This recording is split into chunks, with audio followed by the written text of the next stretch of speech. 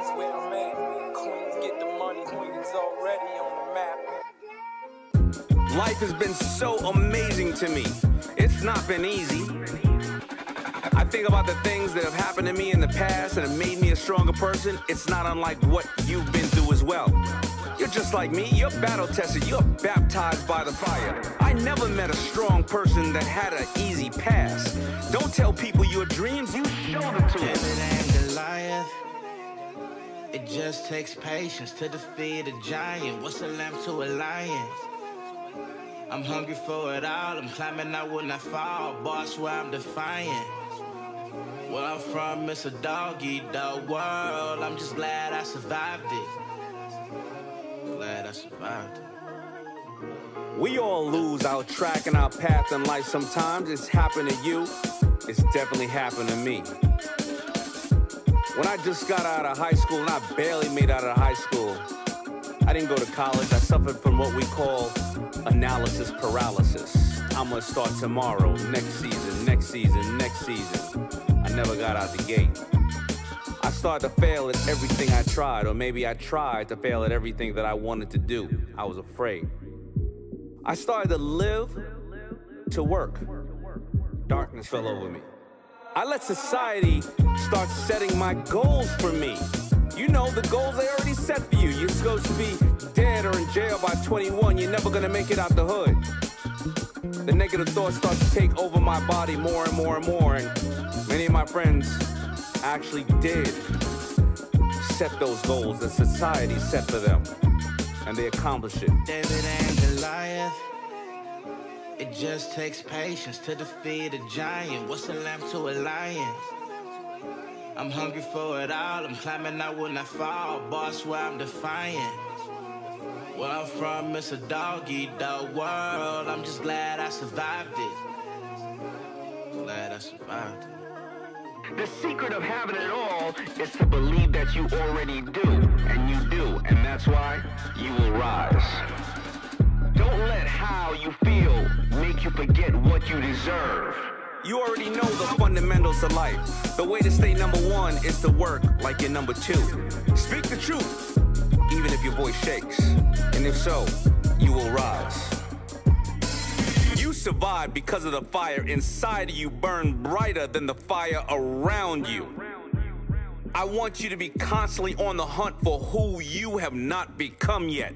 The more you think like this, the more you will rise.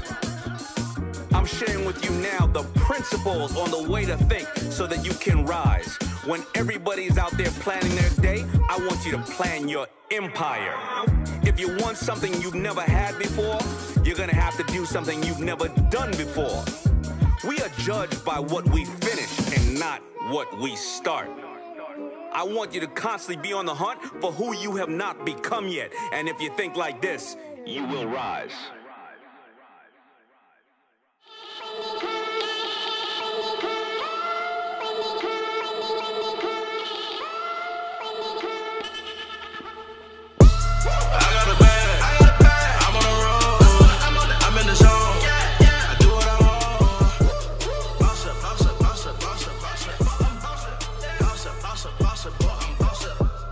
Take this time to stand there and look you in the face and let's kick it about being a boss. Remember that person who gave up in the seventh or tenth grade or even last week? I don't either. I want you to get up. I want you to dress up, show up. Work until you no longer have to introduce yourself. Hustle until your haters ask you if you're hiring. Walk in the room, coffee in one hand, confidence in the other. Care of the bills, take care of everybody else. But today, celebrate the small successes and show up, dress up, boss up. It's time for you and I to kick it 101 about being a boss. I got a bag. I got a bag. I'm on. I'm in the zone. I do what I want. Boss up, boss up, boss up, boss up, boss up. I'm boss up. Boss up, boss up, boss up, boss up. Boss up, boss up. But I'm flashing. I've been dripping, dripping. Water faucet. Stacking that money up, flip it and watch it advance. Whole team bossed up, I ain't shaking no hands. I ain't taking it back. I ain't losing the band. I'd rather, yeah, yeah,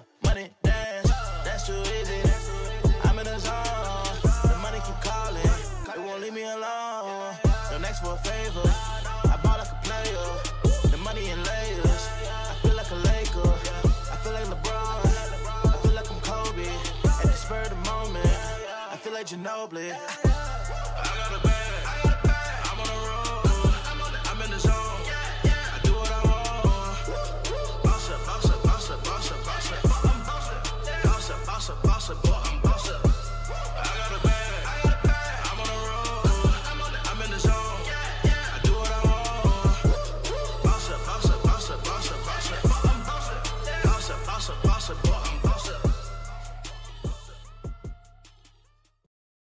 From New York, where boys become men and men become wolves, it's Isolate Night with Scott Rogowsky.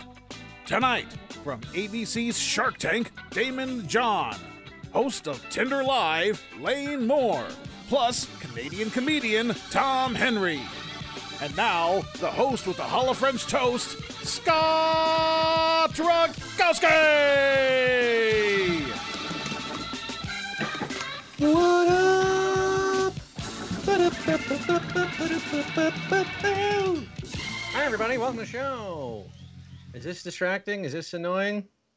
Do you like having a giant microphone obscuring my face? I got the mic for you. I wanted to make this profesh. Now I'm saying, is it helping? Is this good? Is this thing on? Maybe I'll bring it down. I want to see. I want to see myself. This punum. Oh, I shaved for you guys a little bit. I got the internet going. Shabbat Shalom. Friday night. The feeling is right for another episode of Isolate Night, baby. What a week. What a week it's been. We started it with Gata and Chris Kattan and Rachel Dratch. Then we had baseball on Wednesday. Glendon Rusch, Nelson Figueroa raising a lot of money. Guys, I sent another thousand dollars to uh, uh, uh, Slice Out Hunger, two thousand dollars to City Meals. I'll have all the stats soon. But thanks to you, and uh, also thanks to the people buying vintage clothing from Quiz Daddy's Closet, we are raising serious cash for COVID relief. Look, I just sold this bad boy today to John Brennan in Connecticut, the 1998 All Star Game, NBA All Star Game. This was Kobe's first All Star Game, guys. Dead stock, beautiful vintage, $75 sold. That's money going to Slice Out Hunger, which provides pizzas to frontline healthcare workers. So it supports the small businesses and it feeds the nurses. How about Scottie Pippen? 33. I got the Pippen jersey up. This is a hot commodity. Last Dance. Last episode of Last Dance is this Sunday night, folks. Get this in time for your watch party. It probably won't arrive in time, but still, buy the Pippen jersey. That's still for, for sale. So, uh, once again, Quiz Daddy's Closet is where that's happening. Follow it on the IG. Make your donations uh, if you can, and uh, enjoy the show, which is fantastic tonight. It is chock full of nuts. And when I say nuts, I mean that in the very flattering sense. Funny people, cut ups. Tom Henry is on the show. Big time Canadian comic who's got a special dropping today. Lane Moore. Hello, Lane Moore. You know her from Tinder Live. You know her from Cosmopolitan. You know her from her books, How to Be Alone, her TED Talks.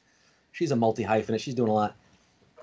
And rounding it out, finishing this off, the week that was Daymond John, Shark Tank, which is finishing up its 11th season, like just now. It just finished, 9 o'clock Eastern Time. Shark Tank aired its final episode of the 11th season, and Daymond John is here to talk about that, talk about how he's handling the quarantine, what investments he's making, maybe some advice for all of us who could use some financial advice when the money is drying up.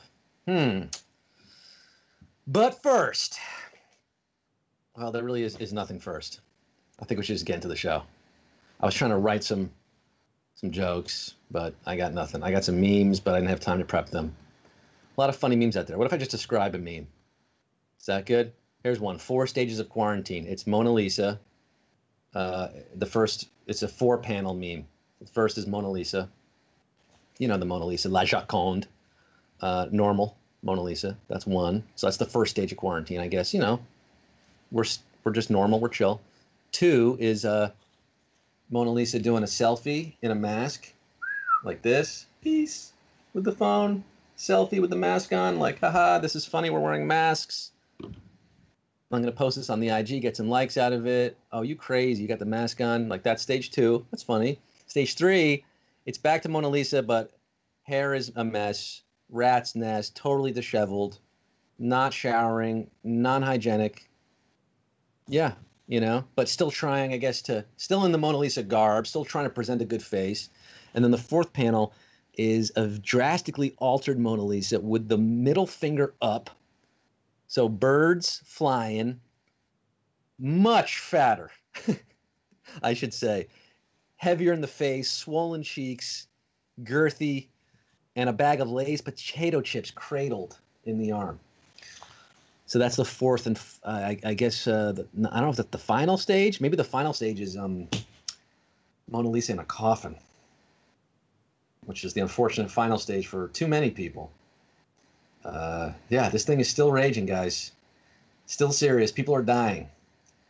Uh, Art Howe is in the hospital. Art Howe, former baseball manager, ICU. We're wishing him well. I did hear from Jeffrey Gurian today. Remember a couple weeks ago, months ago at this point, we heard that Jeffrey Gurian was in the hospital, very severe case of COVID. I emailed him, and thankfully he is healthy. He is well. He is recovered. Still a bit of a cough, potentially permanent lung damage, but he is out of the woods. And we're going to be talking to Jeffrey next week.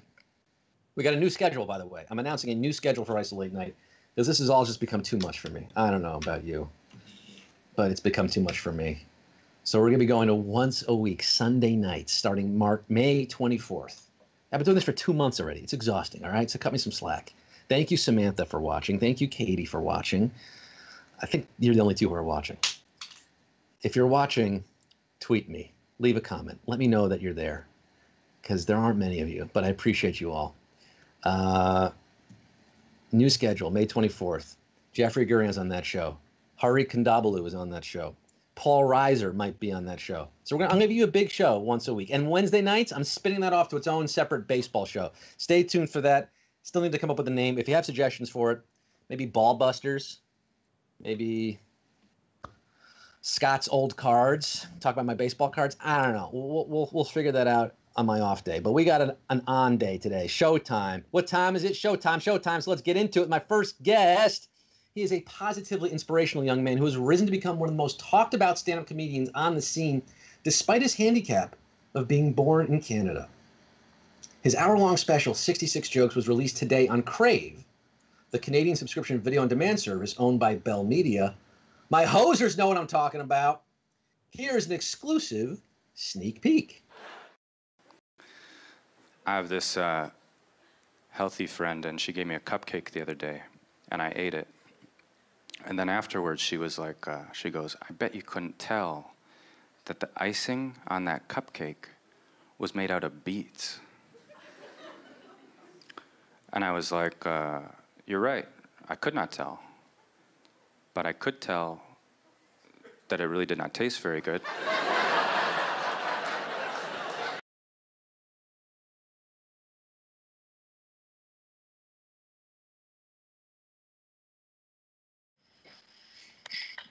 Please give a warm transcontinental welcome to your friend and mine. Perhaps he's, he's only my friend. Maybe you don't know him, but I've known him for like 10 years. Here he is, Tom D. Henry. Oh, Henry. Oh, Henry. You Hey, can't- buddy boy. Hey, man, I can hear you, but we're having issues with the Skype, which has become a regular feature on the show. We've, this is our new segment called. Is it uh, my fault or your fault? Uh, Your Camera Isn't On, so I guess it is your fault. Geek. My fault? I saw you for a minute, and then uh, you, uh, we lost you. So turn that camera on. No, but this is one of our favorite features, uh, uh, favorite segments. Everyone loves the vamped in, image. Uh, You got it? it was my Hey. fault. It was your fault. Oh, get it together, pal. Here he is, once again, wearing a Ryan Leaf San Diego Chargers jersey, which I purchased on eBay and had shipped to Tom so I could save shipping charges because the buyer was based in Canada and would be extra 10 bucks to ship to the US, and I'm that cheap. Tom Henry, everybody. Save 10 bucks to wait until I might visit New York someday. You may be keeping that one, my friend, because yeah, the plan was you would bring that down to New York on your next trip, and that next trip may not be for a while. What are we? What are ever- we doing? It's a crap town anyway. What? New York? Yeah. Yeah. Nothing to do. Nothing to do. That's why I need my Ryan Leaf jersey to keep things interesting. Just to You know? to I, Just don't cut that up and turn into a mask, please, because there is still some value on the secondary vintage market, and that's that's my market. But Tom, I want to congratulate you first of all on a, a really big day for you. I know you've been looking forward to this for a long time. May fifteenth, the day comedy died. No, it's the day that your special was released. Sixty-six jokes. Congrats, my dude. thanks, pal. How many uh, times? yeah. How are you feeling about it? How are you? How are you feeling about it?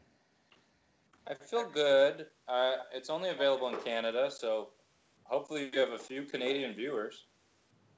Well, I only have a few viewers, so uh, the odds that a few of them are from Canada are pretty low, admittedly. But if Well, you are possible, is it possible any of them are big shot uh, American producers who might bring it over there? oh, absolutely. Jeffrey Katzenberg is watching. Lorne Michaels is watching. I believe.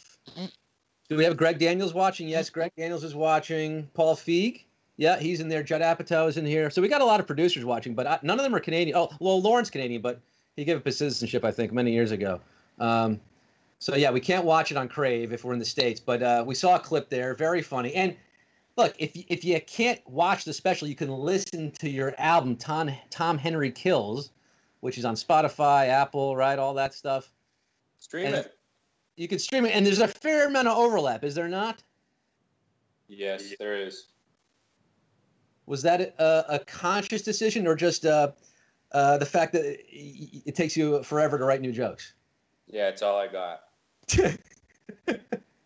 well, look, there's audio only. That's not good enough. We want the visual stimulus, baby. We got to see that beautiful face of yours. Hey, you gonna you gonna you gonna put a few bucks in my pocket? I'm not gonna say no. Yeah. And you know, with the album recording, you could be reading off your notebook. You could have a couple stains on your shirt, maybe a bit of spinach in your teeth. It wouldn't matter. But was there extra pressure to look good for the camera with the special?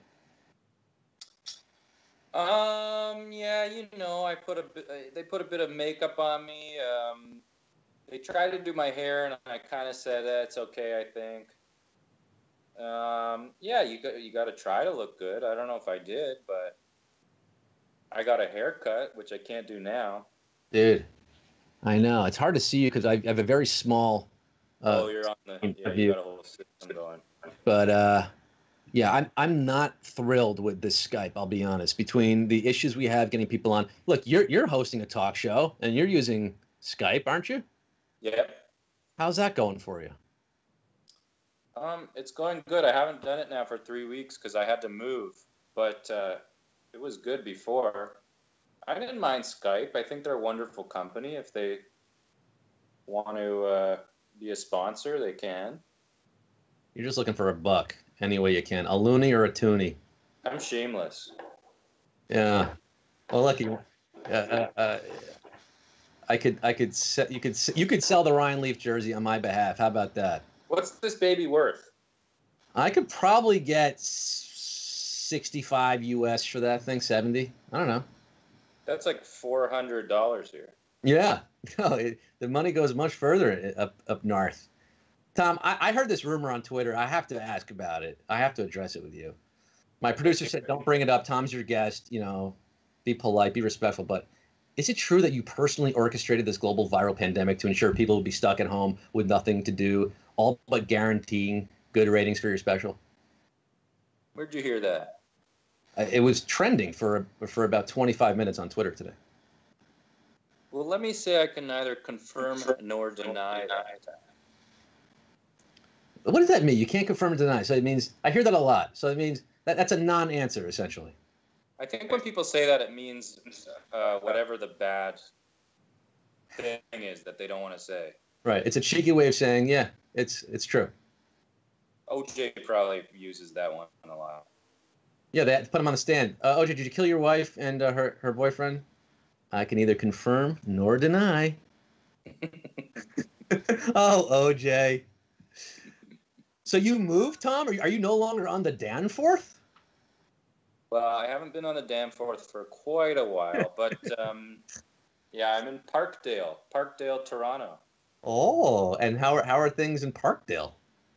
Well, I heard just recently, just as we were talking, what I thought was maybe uh, gunshots, but I'm guessing by the lack of screaming that it was just fireworks. Is Parkdale a rough part of town? It's. Did you hear it? Uh, It's I- obviously fireworks at this point. fireworks, right? Because it's Canada Day somewhere. It's more. it- It's it's it's more. It's a little bit. Um, it's a bit uh, druggy. More more than more so than violent. Is it where Snow grew up? Yeah. Oh, okay. This used to be Snow's apartment. The ghosts of Snow are with you. Is it inspiring you to be creative? Are you writing a lot of new jokes in quarantine, Tom? You know, all my new jokes are about licking your bum bum now. And about informers? Is that actually what he says, or is that what we always joked that he said? Lickety bum bum now. Do you, does America know Snow, or do you just know it because you are a bit of a Canada uh, head? I'm a Canada file, and uh, but I will say, and my, my viewers can back me up. Judd, Lorne, Paul, Greg, uh, if you're watching, back me up in this. We all know the song "Informer." Now we know that one. That's a Toronto white rapper named Snow. The But more you, actually did it make it over there? oh yeah, that was a hit. Okay. That was that was on now what I that was on now that's what you call music volume three probably. Speaking of big time uh, producers, I was on your late night live show once. Yeah. What- oh, late. Uh, Running late, a couple running times. Late. Yeah. And your, your guest was Mark Burnett, producer of Letterman. That's where you're wrong, my friend. That was Rob Burnett. Rob Burnett. Mark Burnett's producer of Shark Tank, which brings me to my next guest. Uh, yeah, but uh, yeah, I've been watching a lot of Survivor, so I got Mark Burnett on the head on the head. But um, get the wrong Burnett. we we hung out with Rob Burnett that night, and I thought everything was going to change for me. Yeah. Yeah, I'm sorry, man. You're stuck in Canada. You've got incredible material. In all seriousness, check out Tom's jokes uh, on, on Spotify if you can't get the Crave special. Follow him on Twitter because he's really funny. And it's like so many of your compatriots up there, you just don't get the recognition that you do down in these United States where the real money is, you know, the real legal tender fiat dollar that isn't backed up by a waterfowl or uh, well, some we're stuck. Yeah, we're Yeah. all stuck up here in this. So You're- hell. you're dude, you're stuck in hell. But uh, I, I, I think it's it's fair to say at least Canada's handling this crisis better than our government. Is that true? yeah, it seems like it. Yeah, I'd rather be in Canada now, to be honest. Uh, but I know you want to be back in the New York groove. Tom, I'm hoping one day you'll get there. Uh, I wish you all the best, my friend. We are running late, so we got to cut this. I'm bringing you this, baby. Please take good care of that. I need that 60 bucks. Well, no, that that that 60 bucks is going to the food bank. They need it more than I do. Okay. Tom Henry, crave. It's what you crave. Check him out. Tom Henry Kills. Bye, my friend. Love you. Love you too. Love you too. But his love is about 85% uh, of what the U.S. love is. I think it's trading at like 83, 85%. Let's get to my next guest. She's one of those hugely talented multi hyphenates of whom we're all extremely jealous because they're better at us at five things than we are at even one. She's an actor, author, musician, comedian, and host of the wildly popular Tinder Live, which I've had the pleasure of appearing on a couple of times back in the good old pre plague days. Here's a little taste of that. Haven't found the right person yet, but while I was trying to, the idea for my hit comedy show Tinder Live was born. It is. I go on my Tinder profile on a huge uh, projector screen. Audience votes whether I swipe right or left. Instead of just like swiping with my friends and making fun of people, I'm gonna like make a career out of this now. Yeah, I literally opened up the app and I was like, whoa, this should be a live comedy show. I Please let him match with me, please. he might not have seen it yet. He is definitely auditioning lots of gals. The show is going strong. Say hello to Lane Moore. Yay! Hi, hi, hi. Hello, Lane. Oh my god, that's a photo of me eating a sandwich. Yeah. You know the Informer song, right? By Snow? oh yes, yes, yes, yes, I do. Informer. You know, something. Alegre bom bom down. Yes, I feel very informed. Did that song inform your creative process? The did it help you become the artist you are today? No, not in any way. Who in no way. Who told you that it did? did? Has anybody told you that it did? That was in my research. I guess I had that wrong. I heard uh, so. Snow, There's a lot of a lot of incorrect things on my Wikipedia. Mr. Bombastic was a big influential song for you. Mr. Oh. Bombastic, Is that a different song than Informer? That's Shaggy. Okay. Who also, you know, Shaggy of it wasn't me fame. So I, I, I, I had you. Okay. I had you it wasn't me was was pretty was you know that was a pretty critical song for me i remember like people being like oh i think you'd really i think you'd like friends at school being like i think you'd really like that and i was like why but then i listened to it and i was like you're right this song is like deeply needlessly sexual um amazing and it had like kind of a playfulness to it it was like kind of comedic in a way and like yeah It's a yeah funny song. It's a funny song. it is a funny song. It's innately funny. It has a good beat. Like, and it clearly was him, you know? so it has a good Right. payoff. What are you listening to in quarantine? Are you going back to your childhood favorites, comfort food? Oh my god. Yeah, absolutely. Um uh I've been God, what have I been listening to? I've been listening to a lot of like 60s stuff, um, like girl groups and stuff like that. And um just there's something about that music that's just like really soothing and it just like it it feels like it was made at a time when no one felt pain. And I know that they did, but it just feels like there's something about like the 50s and 60s, and you're just like, oh, I can't be sad. This is just, you know. And granted, you listen to a lot of those songs, and they're like incredibly sad, um, secretly, but they're just like they just feel good. I don't know. I feel like I've been extra sensitive lately, and so anything that like reminds me of anything specific, like I don't want it. So I just need something that's like neutral music, and for me, that's these girl groups. We're talking Ronettes. We're talking Supremes. We are. That is who we were talking. And also, like, I'll listen to some. Uh, I've been listening to some Nina Simone. Like, that's always good. Like Dinah Washington, Ella Fitzgerald. Just like, you know, good. Soul food. Soul. It really is. Really is. It's good. Some Erykah Badu. Like, just stuff that just has like a good energy. You like, you can't be bummed out, even if even if you deeply are when you're Because listening. Yeah, Lane, these are bum out times right now, and uh, frankly, of all the people, I was thinking about this. Of all the people affected by this quarantine, and it is all the people. Yeah. True. Very true. I think that Lane Moore, author of a book titled How to Be Alone, would be more comfortable with this quarantine, isolation, lockdown life than most. Is that fair to say?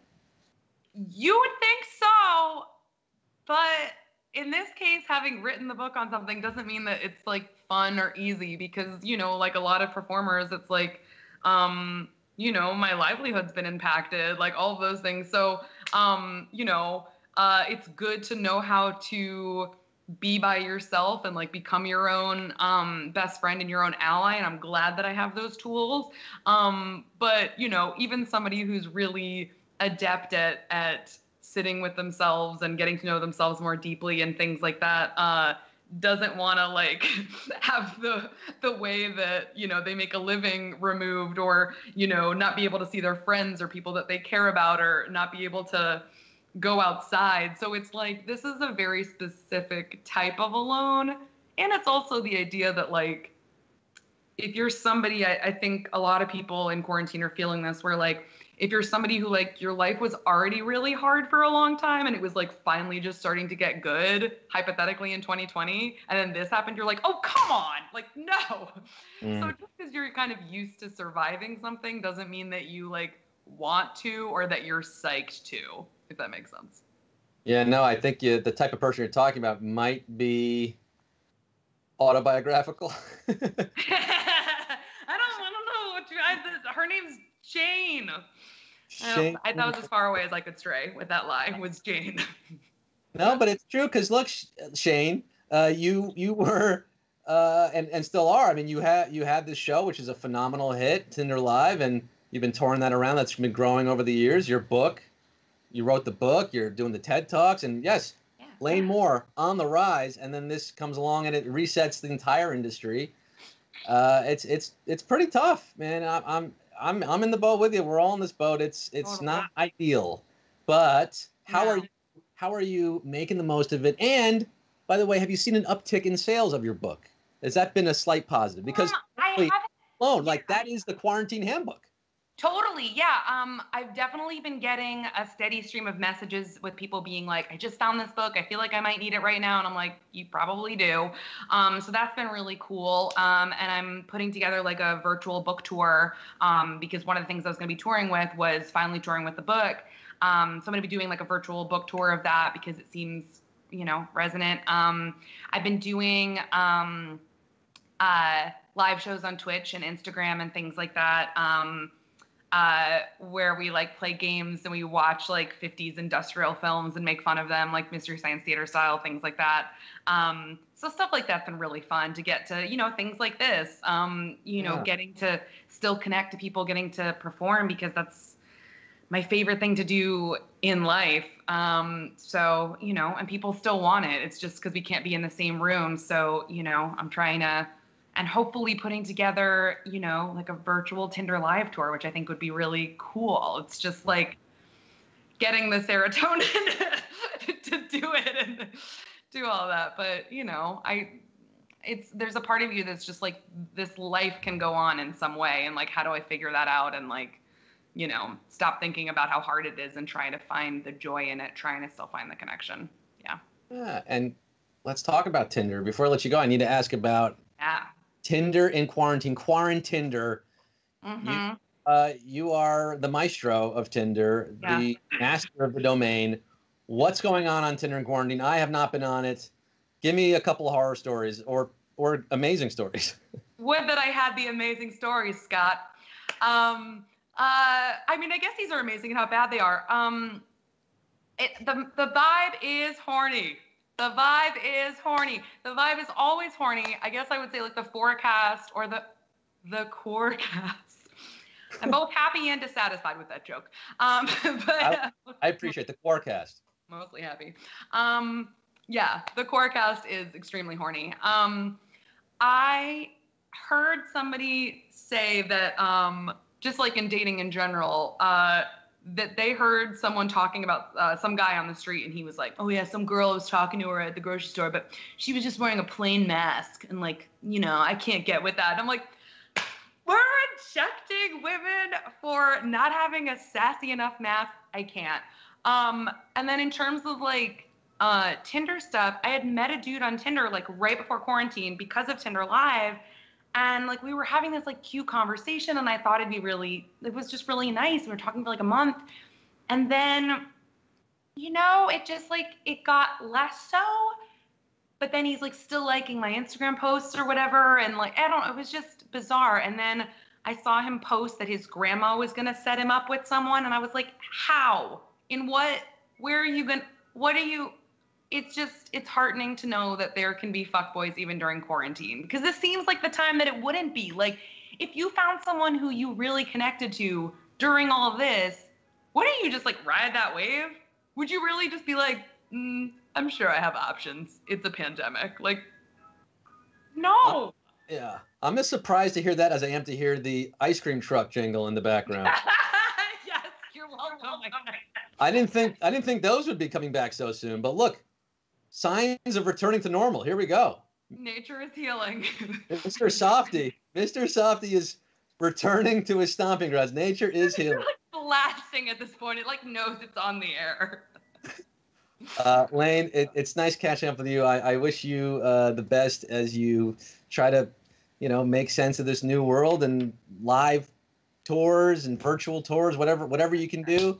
Make it happen. Follow her. Ha- hello, Lane Moore, and read the book. Buy the book. It's it's a perfect for a time like this. Really is. Yeah, true. And it's on audiobook if you just want to listen to a human voice. That's that's understandable. Yeah, listen to the voice. Have some company for crying out loud. Exactly, right? Good to see you, Lane. Thanks Yeah, for good to see you joining Thanks so much, Scott. Talk to you later. Bye. Bye. Lane Moore. We want more Lane Moore. That's what everybody says every time they see her on my show or they just see her out and about or on Instagram. A lot of good content coming from her. And for my next guest, yeah, we're we're keeping this quarantine train a chugging. My next guest first rose to prominence as the founder and CEO of Fubu, which led to his starring role in the Emmy Award winning business reality show Shark Tank, which wrapped up its 11th season on ABC tonight. Tonight, about 30 minutes ago. He's also the author of five best selling books, the latest of which, Power Shift, was released in March, and you can listen to his motivational spoken word hip hop album, Visualize, wherever you stream music. I've been bumping that all day. Some good stuff in there. And we played it in the intro tonight. Boss up. It's time to boss up. Sorry, Kevin James. I'm talking about the original King of Queens, Daymond John. What's happening? How are we doing, D? I am good. It is a great Friday night. I'm still alive. We're all good. So you're you're feeling good. Where are you uh, in terms of all this? Are you New York? Are you West Coast? Down south? I am stuck in the beautiful city of Miami. Is it a good place to be stuck? It is a good place to be stuck. Yeah, absolutely. 100%. South Beach is popping. It's not popping, but even when it's not popping and people are walking around, a lot of beautiful people, a lot of water, a lot of, uh, you know, fresh air. So it's all good. Not bad, not bad. Uh, the weather was Miami like in New York today, so at least I'm we got that up here. Are you? Man, uh I love that jacket. Thank you, dude. This is this is not FUBU, but this is uh this is short. And the, and, and the tie. Oh, oh, oh, oh! It's a it's a jacket with wait lapels and a short sleeve. That's fantastic. It's a full suit. It's, it comes with shorts. I got I got this from uh, Shinesty, Shinesty.com. They're my they're my suit people. I wore this to the VMAs one year. I mean, this is like my. I, break love this- how they, they use the extra fabric to make a tie. That is absolutely amazing. You got to use every part of the buffalo, right? all, all day, all day. Nothing goes to waste around here. That's right. So, Daymond, 11th season of Shark Tank just wrapped up tonight. Did you watch? I get I get uh, advanced copies of it. Yes, I, I have watched it before. Um, yeah, absolutely, man. We love it. It was funny, and uh, my my guy Dan was in there. So really amazing season. Thank you. Yeah, yeah. Congratulations. 11 seasons. You've been there since day one. Pilot episode over a decade and Yeah, 245 shows ago. Yeah. How did you get involved initially? Uh, Was there a casting process for it?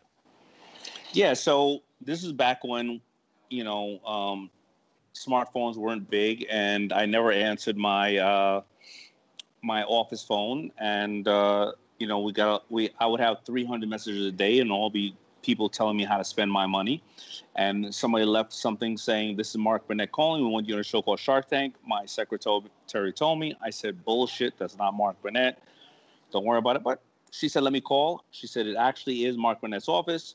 They want you on a show. They want to. They want to test you on a show called Shark Tank. Um, I said, all right. Well, uh, let me get on a video kind of conference with them. I got on a conference with them. They told me I'm going to have to spend my own money, and they told me about all these other bozos that were going to be on the show that I never heard of. And I was like, absolutely not. I'm not spending my own money. I need to get paid if I go to Hollywood, and you guys are pimps. I have. I, I don't want any part of this they said, just come on out. Now, you know what? At that time, I wasn't married. I had a side piece in LA. I said, all right, you're going to pay for the trip to LA? I'll go to LA. I'll get a free trip to LA. Go out to LA. I filmed the, the pilot. The pilot gets picked up. And by the way, I was wearing my earrings at the same time because I was, it was obviously, uh, you know, it was uh, 13 years ago. But I was going out to a club and I wanted to impress my side piece with my earrings after the show get picked up, they said for continuity, you got to keep your earrings in all the time because that's how people know you. And that's it. That's how I got on Shark Tank. And that's why the earrings have been on since day one, all through season 11. Yeah, you know, when I take the earrings out, listen, what what was that thing with the mask? I am with the with the hat. I am OJ. I'm not OJ. I am OJ. I'm not OJ. When I take the earrings out and I walk down the street, nobody bothers me. They clutch their purse and they walk away from me. But the shark the shark cufflinks came a little later. That, tho- those weren't part of the pilot episode. Yeah, all those accoutrements came later. So there was amazing. There was no audition process. It was really they wanted to test you, and I guess Mark had read about you and thought you'd be good on camera. I mean, had you had any camera experience before that? Yeah, I actually went on to Donny Deutsch, Big Idea, and various other things where I was breaking down pitches and I was uh, talking about business. And um, so they knew that I knew how to work the camera angles. And I went to directing school for a little while because when I was placing, um, you know, products and music videos, I always wanted to know the lens that the, the director was shooting with and everything else. So I knew that if my stuff was going to be in it. So I knew positioning and everything else, but um, they picked me. I guess you know they needed a token smart guy, and I decided to become the token smart guy. The smart guy, right? Yeah, no, I, I was curious if there was some kind of audition process to test how good are you at tenting your fingers, you know? For no, I actually, I, and, and I'll tell you the truth. When they sent the contract over, I turned it down because at that time I was representing these three girls that I was going to mentor on a, on a show, and I did all their product placement. And I was going to be on their new cable show coming out, and I said I'm going to be on this cable show three times a year. That's nine minutes, and they were like, "You can't do any other show but ours." And I turned down the show when they gave me the initial offer after the sizzle reel. And um, I remember an agent who wasn't even my agent called me and said, why would you turn down a Mark Burnett show by Sony on ABC for three girls that nobody will ever know named the Kardashians? Why would you ever do that? Um, and then Khloe Kardashian found out that I was going to turn down the show because of her, and she fired me from representing them. She said I will never get in your way. Wait a minute. Have you have you told this story before? I've told a couple of times, but what you what you want to know is that in the first two years of the Kardashians, when I was shopping them for product placement, nobody believed me that they would be the people they are today. Well, uh, honestly, I didn't think they would be the people they are today. I thought maybe 25% of who they are today. So if you look in the first three seasons of the Kardashians, they're wearing my brand called Coogi because nobody else would pay me to put their stuff in in uh you know in the Kardashians. So I said, girls, I screwed up. Um, I can't. None of my people will believe me. I can't get any of the brands I know to believe me. So I'll give you the money and just wear my stuff. And that's why they're wearing Coogi in the first three years. I had I had no idea that you were at this crossroads where it was Shark Tank or Keeping Up with the Kardashians. Yeah. I- it's hard to say. You know, I guess both were phenomenal successes. Maybe the Kardashians would have made you a little more money. I don't know. What do you think? they would have made me a lot more money because I wouldn't have to invest in, you know, in in fifty percent of the things I lose money on, but fifty percent I make money on. I would have just been sitting back saying, "Kim, take this picture," and I'd have made all the money. God. Well, I think you're doing okay regardless. Look, I could have been employee number seven at Bonobos. That's my That's right. That's, that's my story of a near miss. I, I I respond to a Craigslist ad in 2008. They're looking for like a you know a customer service guy, and I went in, worked there for a week. And I was like, do I really want to sell pants the rest of my life? Out. Meanwhile, sold to Walmart for like 500 million dollars. oh God. Well, Daymond, I dug into the archives uh, to find the very first pitch from the very first episode of Shark Tank that aired August 9th, 2009. All right. Let's roll this, and I want to get your your take on this.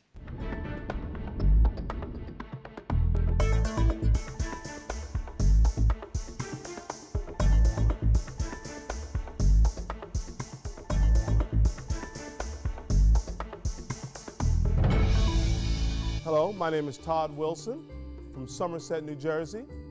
In exchange for $460,000, I'm offering you a 10% stake in America's next greatest food brand, Mr. Todd's Pies. Thank you. Got some great samples for you today. That I've is got- fantastic. Thank you very much. We've got sweet potato up there, pecan, chocolate pecan. Who's the walking stuffed guy? That's Mr. Pie Man. He's part of the brand. I would whack the stuffed pie guy. He's a cost I don't need. But You know what?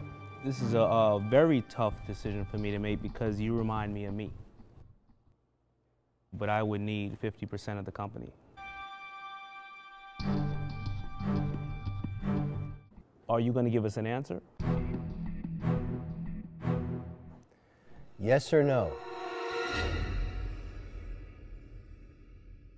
I'll take it.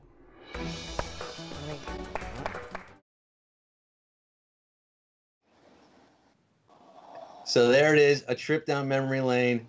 Mr. Todd's Pies. Mr. Todd's Pie. So a few questions here. First of all, those stacks of money on the table. Not real, I assume. Absolutely, they're they're fake, and they took that. They took. They learned. You know, like you know, Shark Tank's like a startup. They learned that it was too cold. We were so high up. We were unapproachable. You couldn't get around to touch the the the guests after you did a, a deal like a handshake or whatever the case is. So they took that all away.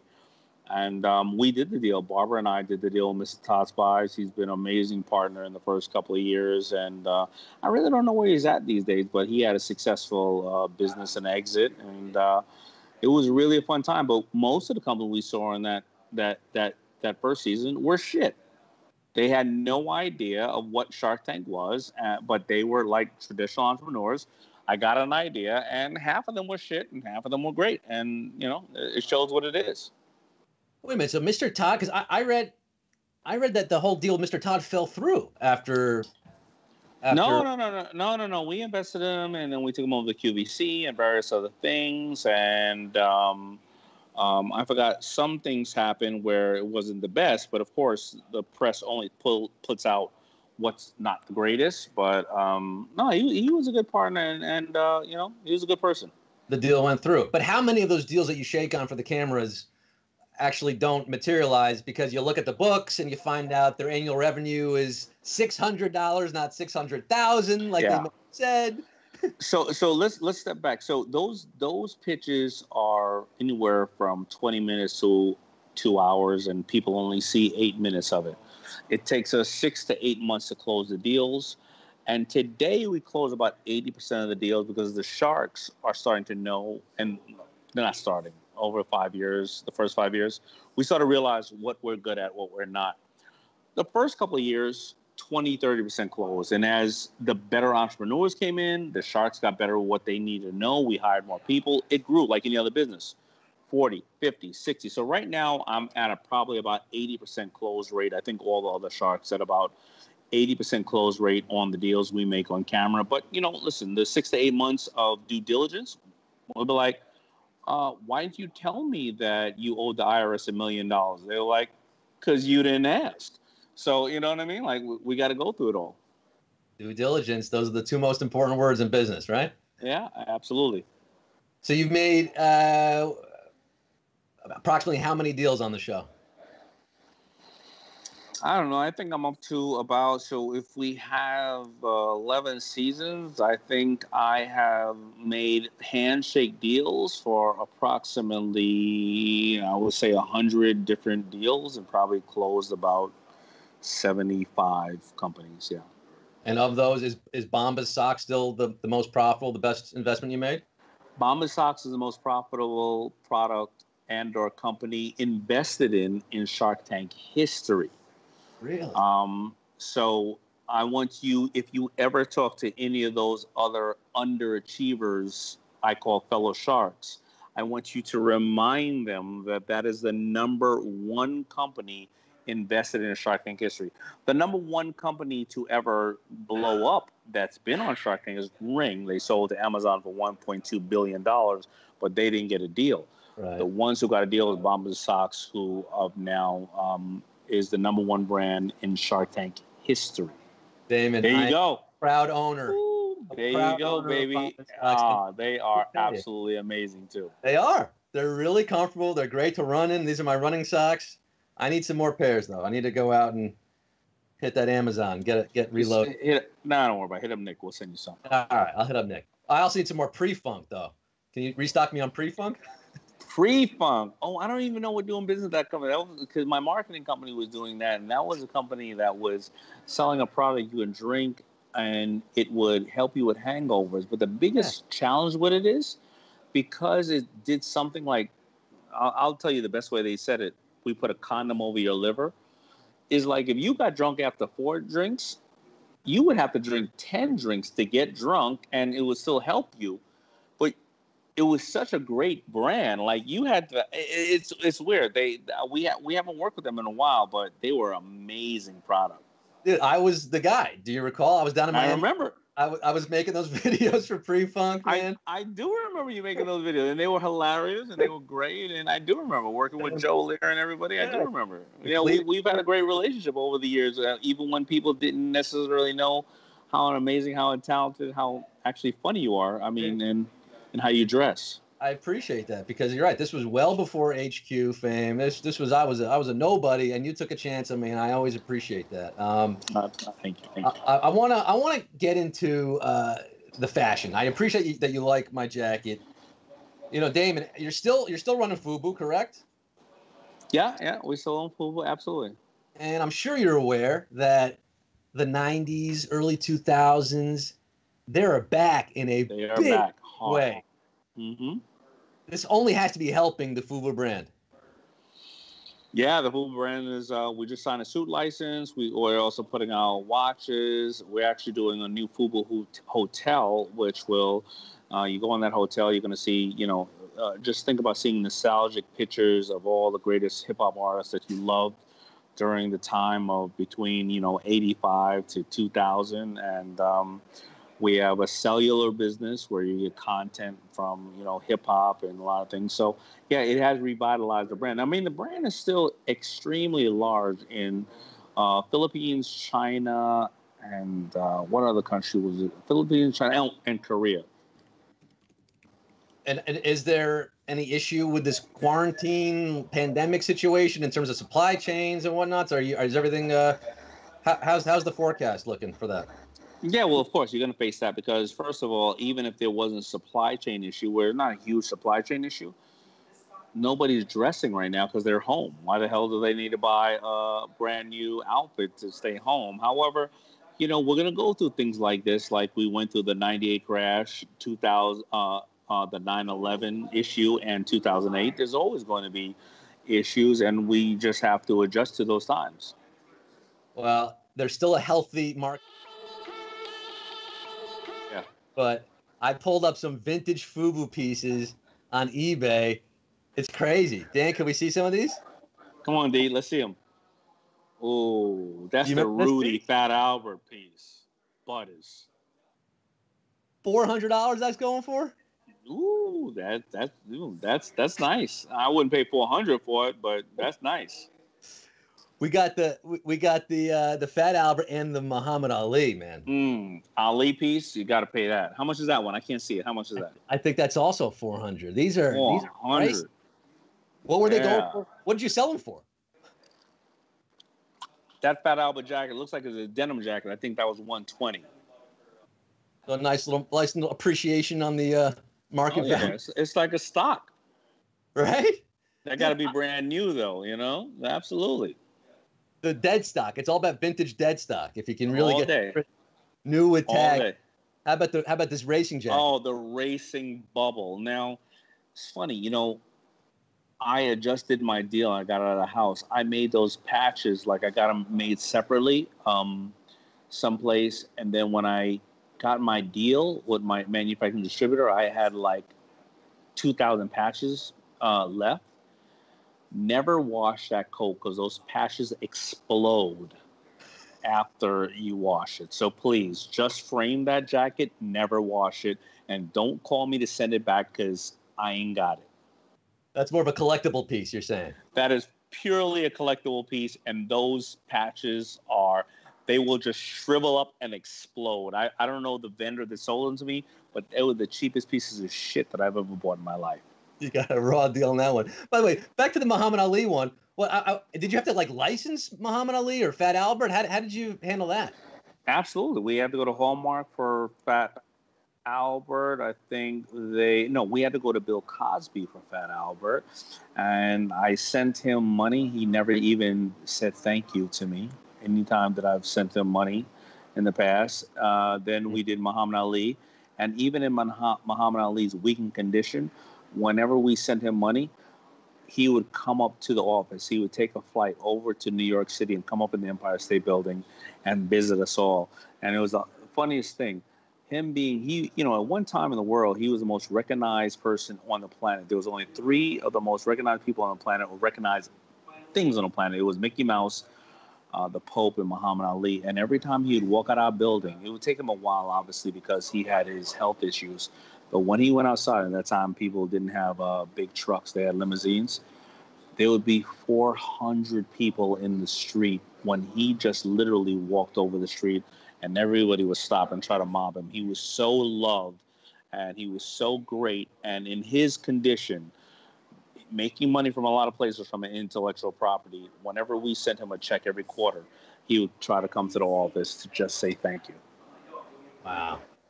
Meanwhile, Bill Cosby, that's I don't know. The Bill Cosby I know was was more polite than that, but uh, The Bill Cosby I know is more polite than I know as well, and uh, you know whatever his circumstances, we're not going to get into that. But I'm just going to tell you my experience with him. I don't know where he is these days. I hope he's doing okay. I. I hope he's doing okay as well. you lost his phone number. You don't have his contact anymore. Uh, he never gave me his contact. I used to call Oh, his friends, friends, friends, friends, friends number to send him a check for a million dollars. What a scumbag! Amazing. I think I will agree with the verdict. He's a scumbag. yeah, it's crazy, man. You know, you think about these people that you grow up because you grow up admiring both Muhammad Ali and Bill Cosby. These were two icons, giants, and uh, some guys don't pan out the way you think they would, huh? Some guys let you down. Mm. Some girls let you down. Mm, yeah, more girls let you down, probably in the long run. We got a couple more here, uh, Dan. We got the wax denim. I want your memories of the wax denim, man. The wax denim. Uh, Redman called me one day when we had the wax denim. We sent it to him, and he called me and said, Daymond, I'm going to let you know I wore the wax denim for 17 days straight. I didn't take a bath and I didn't wash the, the, the wax denim, and it's standing in the corner of my room. It's just, it's just rigor mortis is set in. Stiff as a motherfucker. It was, it was very crispy. It just stayed there, he said. But that was the that was the look, right? That was the fashion. Did you sort of create this fashion, or were you responding to trends? I mean, it's hard to say. It's a chicken or egg kind of thing, right? Like, Yeah, I can't say that I created fashion. I mean, the fashion has always been dictated by the streets, and Karl Kani and Cross Colors were out before us, and they inspired us. Um, and then when we would work with the artists, they would tell us what they want to see for the next year, and we would they would also ask us how should we look for the next year. So it really a kind of like a symbiotic relationship. And the whole theory of FUBU is you could take it in various different ways. We were making clothes for the hip hop market, and people loved it, but we also were just making things we wanted to wear the next year. yeah. Dude, I mean, you gotta you gotta you gotta write what you know, and you want to dress the way you want to dress. You just gotta you gotta create the stuff that you want to be wearing, that you want to be watching, right? I mean, that's the lesson. I mean, Scott. I mean, it's like you you telling you know telling a bunch of people things that you feel are valuable of content and feeling funny, and the people watching you. Why would you go in a room and talk about shit you don't know? You want to talk about the things that you think are of value, and that's what we would do when we would have the ability to design our own clothes. Absolutely. Listen, I, I, I you- you've been giving me so much of your time, and I appreciate it. I have one uh, final thing here. Can I run this by you? Absolutely. All right. So, David, to get a little serious, we're now living in a new world order, right? So many things are going to change. I mean, frankly, season 12 of Shark Tank may not be happening for a while, right? Oh no, that's happening. Oh, oh but it's happening. But how do you do it? You can do it virtually on, on Zoom. What are you going to do? No, it's a good question, right? We usually shoot in June and we usually shoot in September, uh, those two months. And I think we're just going to roll it all into September because by that time things will be loosened up at least until there's a second wave and we get it all in and we chop it up. It's really easy to shoot the show. You get a bunch of entrepreneurs, we test them, we all quarantine ourselves, and um, you know we uh, we work for a month, right?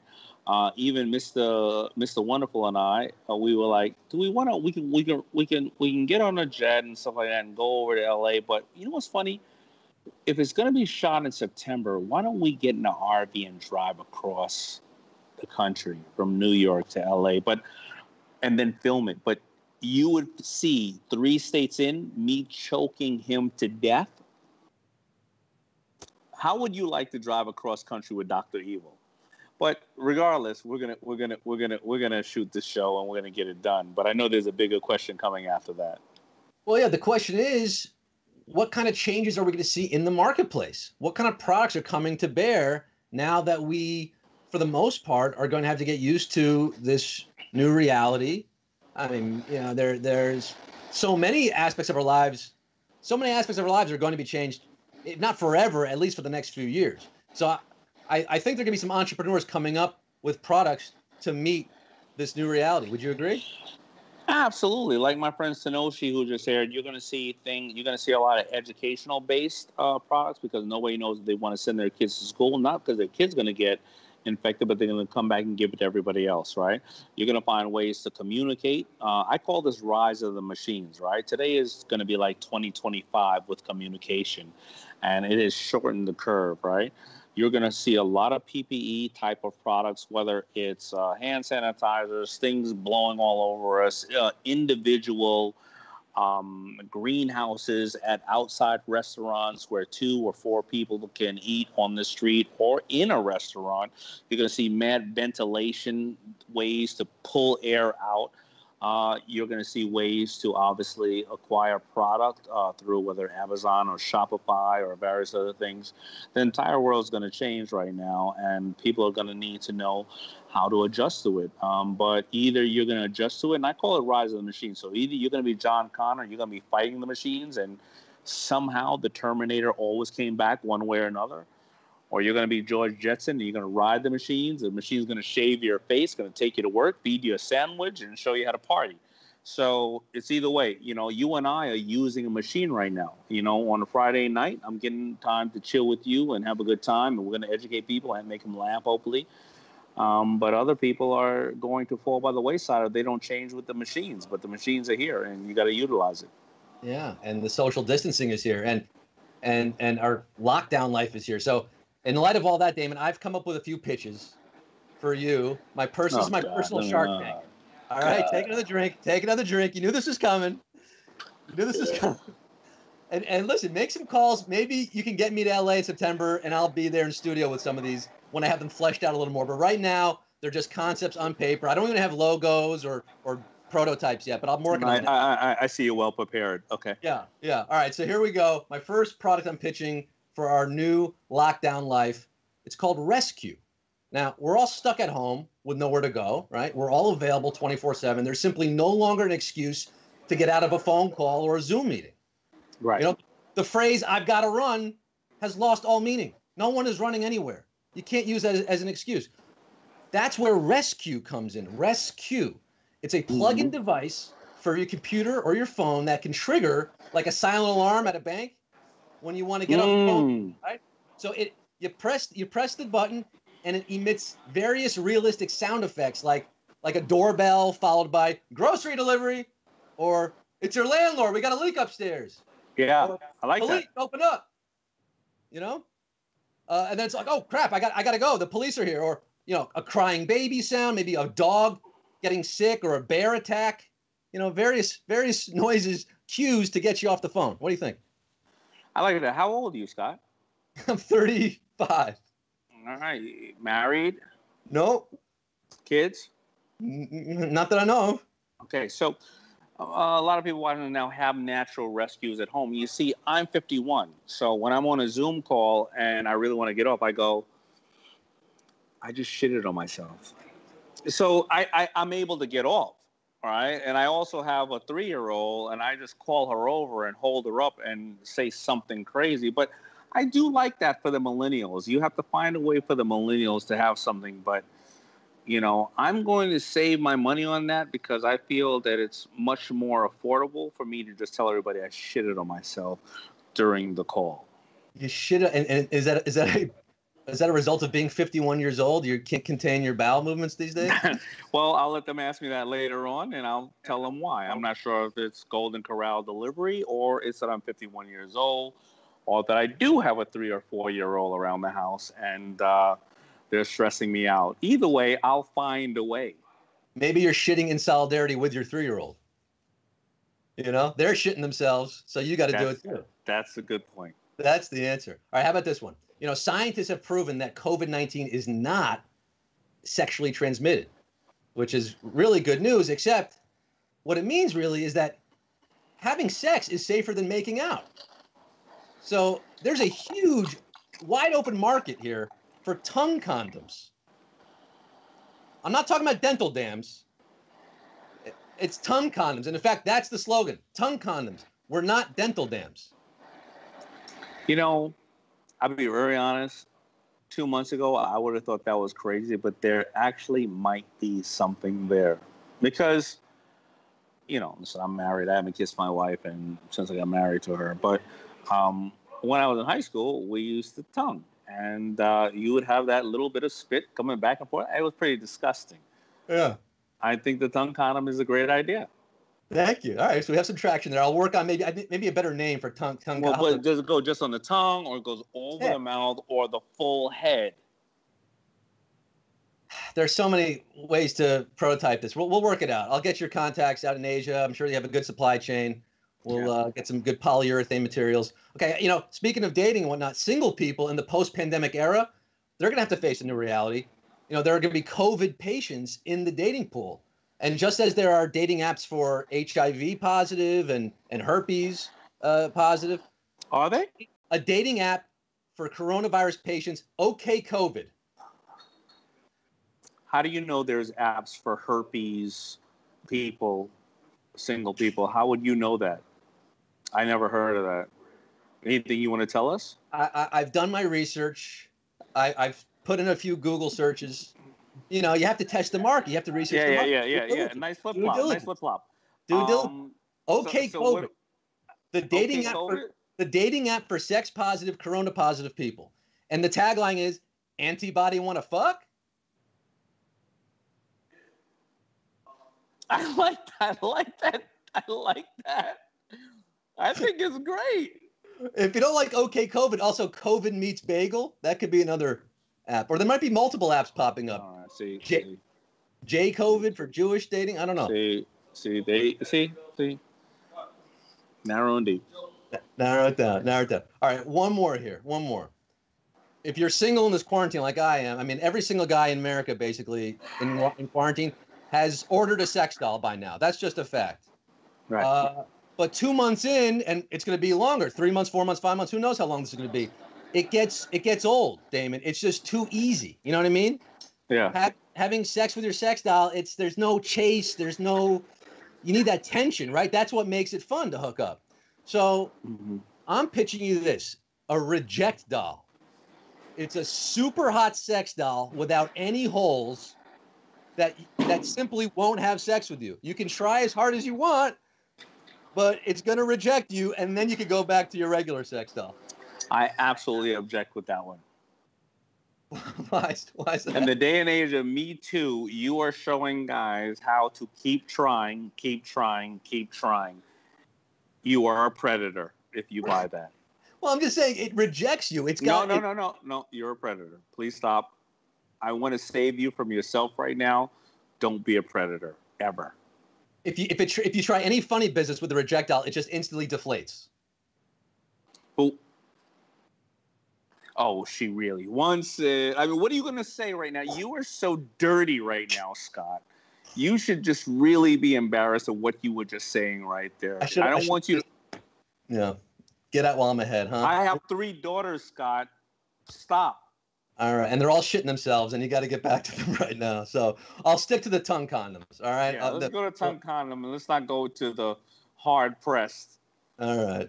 All right. I thought it was. I thought it was something there, Daymond. Man, this, you know what? You're innocent. You didn't think about all the other aspects of it, and that's why I'm here to protect you. This Please, I'm going to send you my wiring information. Please deposit a little something, something. I need. I need a shark in my corner for this reason. I got you. Oh my goodness, Daymond John checking in from Miami. This- joking aside, thank you so much, man. It's, it's been a great time, man. Thank you for entertaining us, man, and keeping I us. appreciate Uh. And hon- honestly, your Visualize album on Spotify, on iTunes, it, it- it's truly phenomenal. I recommend this to everybody out there. It's perfect for quarantine if you're feeling down, unmotivated. Daymond is spouting those aphorisms. He's getting you pumped up, and there's some really sick beats on that thing. Yeah, let's be clear with what it is, right? I'm not trying to insult anybody who has a creative bone in their body. I am not trying to rap, sing, dance, or whatever the case is. It is my speeches where people, uh, really young guy named uh, Nobu, like the restaurant, put a put a bunch of beats to my motivational speeches, and uh, people work out to it. And thank you so much for uh, pushing it out there. And I also have my book out now, Power Shift, that Yeah. unfortunately came out during a time when people needed because I wrote it way before this happened. But I have so many subjects in there, like Kris Jenner, that we go over the Kardashian stuff and Pitbull and Mark Cuban and people you will never know on how they made power shifts in their lives to empower themselves, man. And uh, Scott, I've been a fan of yours for a long time. I, I met you when you know the world didn't know you, and I- I'm really happy and uh, congratulations on all your success. Uh, appreciate it, man. I'm gonna go back to CNBC and catch two more episodes of Shark Tank tonight before I go to bed. My man, I love you. Daymond John, later, my man. Thank, you. How about that, folks? That's a show. That is a show of shows. I had so much more to get into, but that's that's what happens. You got to keep things tight, you know. So he didn't like the reject doll. I understand the concerns. I'm not I'm not pitching this as a thing, you know, to train predators or anything. It's just the idea is, you know, to make things more realistic because you go out to a bar, you go to a nightclub, you're going to get rejected. That's part of the game. And it's hard to recreate that in quarantine. Some people get off on it. Some people like the rejection more than the acceptance. I'll just say that. Ah, what a show. Daymond John, Lane Moore, Tom Henry. What a week. And uh, what a couple months. Um, yeah, we are transitioning. We're cutting this back because as much fun as it is to do the show when I'm doing it, it's really not fun booking it and promoting it and editing it and getting the clip. There's a lot that goes into it. And, and my producers, Alex, my writers, Max and Al, they're working hard. Dan Balton running the show. Hovercast for supporting us. So this isn't the end, but we're going to be scaling back once a week, Sunday nights with IsoLate Night. Uh, but baseball show. There's going to be a baseball show happening Wednesday nights. Wednesday night baseball will continue. New name, new logo, new announcer. I don't know if I need, you know, Fard Muhammad, by the way, give him some prop. Fard's been an amazing announcer all this time, with, coming up with incredibly original and funny takes. And he has a great story about being the very first audience member at the Tonight Show with Conan O'Brien. Check that out on Reddit if you can find it. Really great story. So thank you, Fard. Uh, but yeah, this isn't the end. Tell your friends about it. Keep spreading the word. Sunday nights with IsoLate Night. Wednesday night baseball with whatever we're going to call it. And uh, I'll see you when I see you next, May 24th. Until then, stay safe, be well, because if you suffer, so will my ratings. Good night.